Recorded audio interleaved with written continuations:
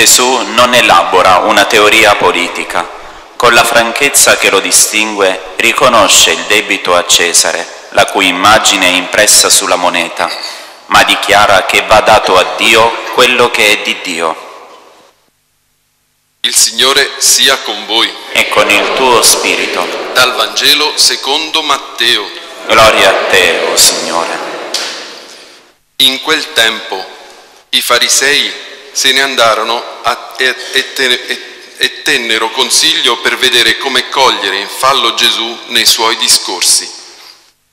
Mandarono dunque da lui i propri discepoli con gli erodiani a dirgli, Maestro, sappiamo che sei veritiero e insegni la via di Dio secondo verità. Tu non hai soggezione di alcuno perché non guardi in faccia a nessuno. Dunque, di a noi il tuo parere. È lecito o no pagare il tributo a Cesare? Ma Gesù, conoscendo la loro malizia, rispose, Ipocriti, perché volete mettermi alla prova?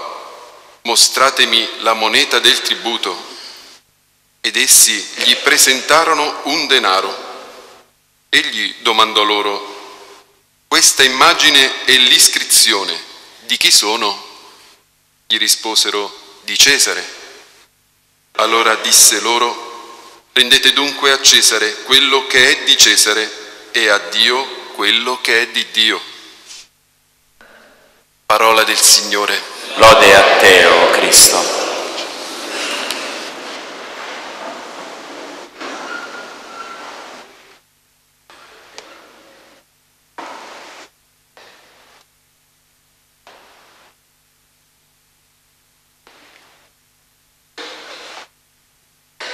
La politica cerca sempre di immischiarsi con la fede, non perché aspiri a qualcosa di simile alla religione, ma perché il soggetto che deve realizzare i fini terreni di giustizia e le ragioni eterne della fedeltà a Dio sono nello stesso soggetto, è la persona. La persona è creatura di Dio e la persona fa parte di un regno della, sulla terra. Allora bisogna scindere bene i due aspetti.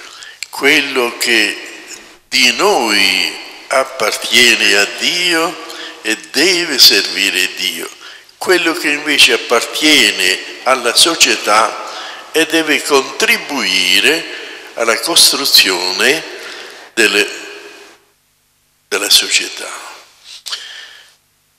Credono di confondere Gesù, di coglierlo in fallo, questi discepoli di scribi e farisei, mostrandogli una moneta. E Gesù domanda, di chi è l'iscrizione? Di chi è il nome? Beh, è di Cesare, perché i romani in quel periodo non potevano coniare le monete come non potevano decretare la morte. Questi due poteri erano riservati agli occupanti, ai padroni, ai romani.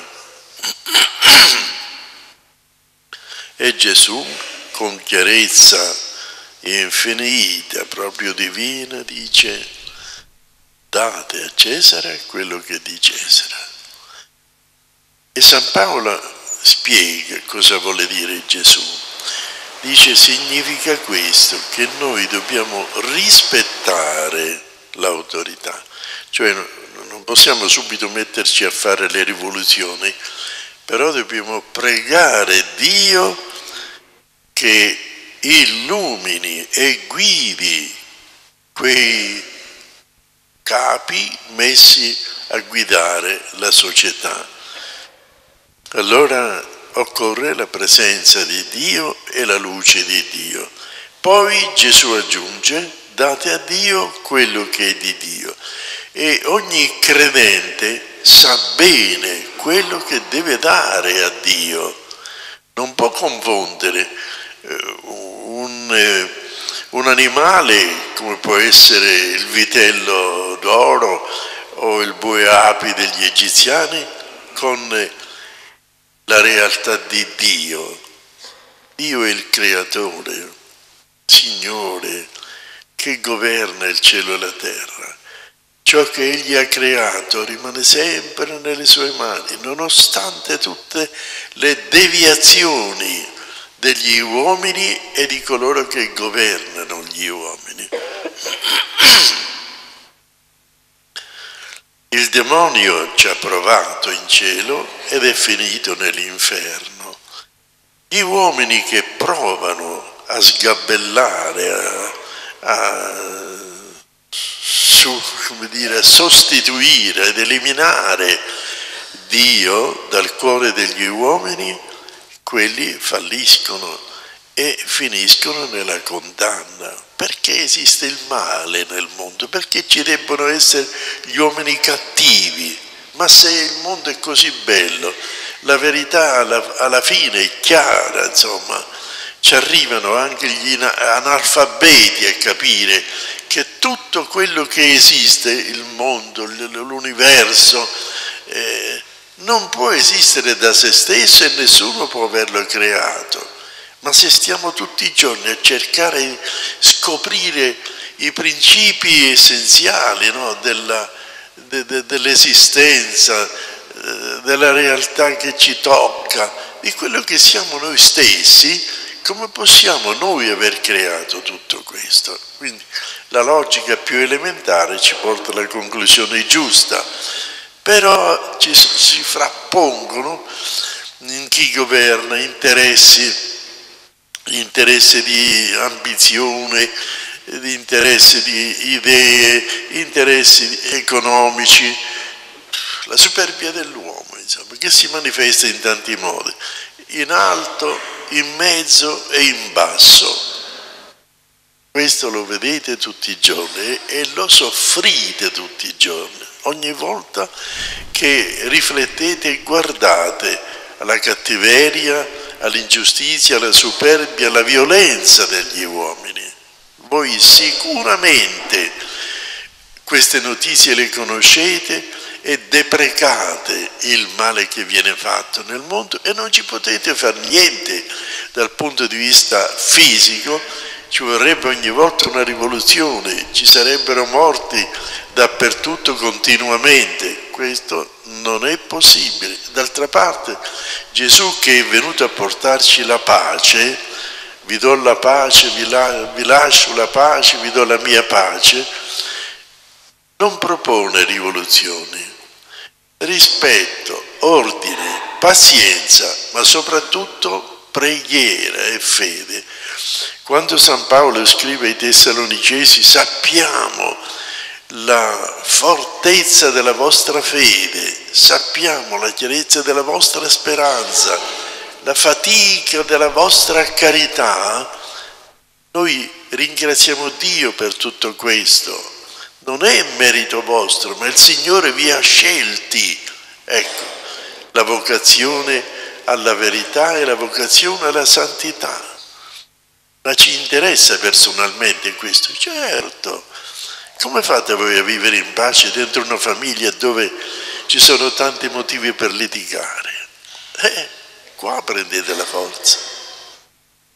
Come fate ancora a sperare nell'aiuto di Dio quando il corpo si ammala, quando la famiglia si ammala, quando la società si ammala? Perché avete la luce della fede che vi guida vi guida nella pazienza, vi guida nel fare il bene, vi guida nell'aiutare Gesù a compiere la sua volontà con l'esempio, con l'aiuto, con la pazienza, con l'umiltà. Queste sono le, le armi del cristiano. E allora facciamo come ha fatto Gesù. Durante il giorno lavoriamo, lui annunziava il Vangelo poi ci ritiriamo e invochiamo Dio. Gesù trascorreva la notte in preghiera. Ma cosa realizzava in quella preghiera? Invocava la misericordia di Dio Padre che l'ha mandato a salvare gli uomini e gli uomini non si possono salvare senza il perdono di Dio. E allora Gesù deve attirare, deve, come dire, dare giustizia ai diritti di Dio, no? date a Cesare quello che è di Cesare, a Dio quello che è di Dio. Gesù gliel'ha dato al Padre quello che spetta al Padre, adorazione, amore, obbedienza queste tre cose. E anche noi possiamo fare lo stesso, rimaniamo saldi nella fede, l'adorazione di Dio della sua volontà. Signore, aiutaci, Signore, perdona, Signore, converti, Signore, liberaci da questo, da quello, da quell'altro. Ecco allora, e liberaci anche dalla nostra debolezza Donaci ogni giorno più energia spirituale per non soccombere, per non essere travolti. Questa società che fa come l'onda del mare, un po' va di qua e un po' va di là e spesso crea disastri. Questa società in cui viviamo, anche noi, tutti noi, ognuno di noi, chi in un modo e chi in un altro, fa parte e soffre, allora che il Signore venga, ci mandi l'amore, ci mandi Gesù, Lui è l'amore, ci mandi la Madonna, lei è la preghiera vivente, è la speranza del perdono di Dio. Quando diciamo nell'Ave Maria, prega per noi peccatori, adesso, adesso, nelle situazioni che viviamo oggi, domani, dopodomani. E poi nel momento in cui dobbiamo lasciare questo mondo ed essere giudicati da Dio, tocca a Lui giudicarci, assolverci o condannarci. Allora preghiamo Dio Padre che per amore di Gesù ci assolva tutte le preghiere che facciamo. Voi fate bene attenzione alle parole, alle espressioni che pronunciamo sull'altare quando dobbiamo chiedere allo Spirito Santo di santificare quello che stiamo presentando al Padre, cioè il pane e il vino, perché diventino il corpo e il sangue di Cristo, di cui abbiamo bisogno per fortificarci non mi dite che voi siete capaci di guidare le macchine senza benzina, non camminano. Senza l'Eucaristia, senza la preghiera, non camminiamo, rimaniamo infossati, inguaiati e forse anche distrutti dalla cattiveria del mondo, ma anche dalla stessa nostra debolezza. Preghiamo, preghiamo con amore. Adesso stiamo celebrando il mese di ottobre in onore della Madonna del Rosario. E Padre Pio sempre con la corona del Rosario, dammi l'arma, disse a Padre Pellegrino, questa è l'arma. Io gli ho detto che volevo parlargli dopo un'ora che stavo a fianco a lui, ma non potevo perché lui sempre con la mano me l'ha fatta passare davanti agli occhi e, e non ha detto nessuna parola. Ho capito bene che voleva dire non ci fermiamo a parlare, a discutere, preghiamo, perché quella è la fonte dell'energia.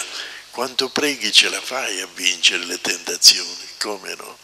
Se ti allontani da Gesù e dalla preghiera, ma sei già morto. San Paolo dice che non saremmo capaci nemmeno di nominare Dio, pensate voi, figurati quanta distanza fra la preghiera e la speranza di essere esauditi. Io credo che, ma non posso dirlo, sarebbe giudicare voi, a quante preghiere facciamo senza speranza? Troppo. No. Io avevo detto all'angelo custode, prima vai e di buona giornata da parte mia, Padre Pio. Dopo un po' sveglio, sono lavato, adesso so che dico, vai e digli buona giornata. Dopo vado io alle due e tre quarti e ripeto ancora buona giornata e allora lui alza le braccia, ancora. Quindi io avevo pregato ma non avevo, come dire, realizzato questo piano di augurio di buona giornata. Sì, è giusto che lo diciamo, lo diciamo, però non, è, non parte dalle radici di un'anima sveglia, libera, in comunione.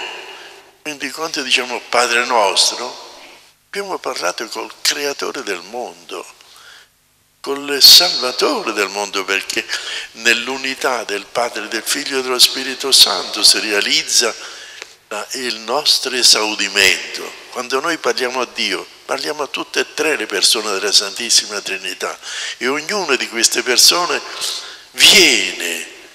Che vuoi, figlio mio? Che succede? Che ti occorre? Dio già lo sa, ma vuole che glielo diciamo noi. Quando il bambino piange, la mamma, il papà, generalmente sanno qual è il motivo, però glielo domandano. Che hai fatto? Che vuoi? Che ti serve? Che ti fa male? Portiamolo a questo livello, il nostro rapporto con Dio nella preghiera, ma soprattutto nella vita, per essere buoni, un pochino buoni, di fronte a Lui che è la bontà assoluta. Credo in un solo Dio. Padre Onnipotente, Creatore del cielo e della terra. Le oasi di Maria, dove sono, dovunque è stata, dovunque è passata, dovunque è apparsa, dovunque è venerata. Nel silenzio adorante della casa di Nazareth, coccolata dal Padre, incinta dallo Spirito, baciata dal Figlio, custodita e venerata dall'innamorato Giuseppe, casto figlio del re Davide, e ad Ein Karem, col capitolo di premure per la cugina Elisabetta e Giovanni e Zaccaria, a Betlemme di Efrata, tra il sorriso degli angeli, l'affetto dei pastori, lo stupore dei magi, tra le dune del deserto, della terra del faraone, tra l'umile gente dell'opulento Egitto, in ogni chiesa d'Oriente dove si canta al suo nome nell'oasi di mite inverno e di pacata estate che ha nome Efeso. Lì chiunque mette piede ci lascia un po' del cuore, è accaduto anche a me. Col desiderio lì ritorno per rivestire la mia anima di pace e di gioia, d'amore e di silenzio. Lì indisturbato rimango ad ascoltarla. Vicino ai nostri giorni è scesa a Lourdes dei Pirenei e a Fatima Lusitana per aggiornare la tenda d'attesa e d'accoglienza, per ricordare la preghiera e chiamare a penitenza, per lavare dai peccati e guarire dal dolore. La terza moderna tenda in terra jugoslava per raccontar di sé, dono di Dio all'umanità e ricordando al mondo che in mano a lei è la pace, speranza sempre tesa da Dio agli uomini e dagli uomini a Dio. All'Oriente smarrito ha lì indicata la via per ritrovare Pietro e ritornare all'unica casa, quella che anch'essi chiamano Chiesa. L'Italia è costellata di santuari dedicati a lei. Basta ricordare Loreto e Pompei, evocazione della famiglia e del rosario. Dovunque s'è fermata l'eresia non è approdata. Di là, dall'oceano, Guadalupe ed altre ancora. Oasi di Maria è il cuore di ogni santo dai loro occhi di carne piove la luce di Cristo e il sorriso della sua mamma. Ho respirato il loro profumo somiglia certamente a quello di Gesù e di Maria e il profumo del paradiso.